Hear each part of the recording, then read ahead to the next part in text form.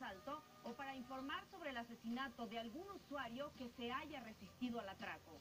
De acuerdo con cifras del Observatorio Ciudadano Nacional, al día ocurren 40 robos con violencia a peatones, lo cual lo coloca a la capital del país en el tercer lugar a nivel nacional en robo con violencia y en el cuarto lugar en robo a peatón.